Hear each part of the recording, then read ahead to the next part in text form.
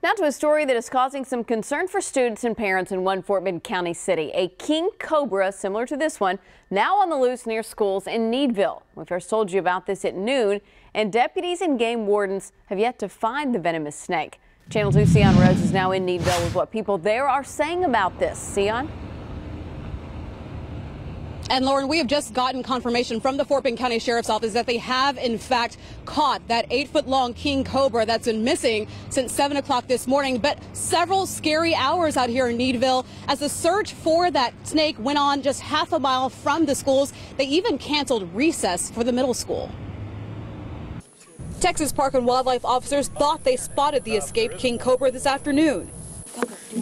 Get out of the way, Turns out it was a water snake, not the deadly reptile they were looking for. And one bite could kill an elephant or up to 20 men.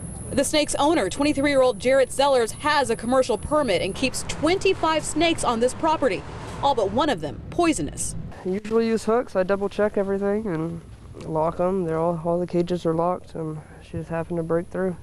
At Needville High School, just half a mile away, a nervous student texted her parents warning to bring their pets inside. My daughter's supposed to mow the yard.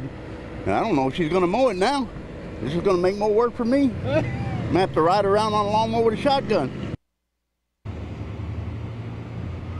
And it looks like that student is now free to go ahead and mow her dad's lawn. The sheriff's office telling us that, in fact, the king cobra has been found. We're working to get more details on exactly where it was located. We'll have that for you coming up later today on Channel 2 News. For now, reporting live in Needville, Syan Rhodes, KPRC, Channel 2 News. All right, Syan, thank you. Here's some facts about cobras. There are more than 270 species of the snake. Its venom can cause you to stop breathing and even die in as little as 30 minutes. The only way to counteract the effects of the venom is to inject the appropriate Uh, anti-venom as soon as possible.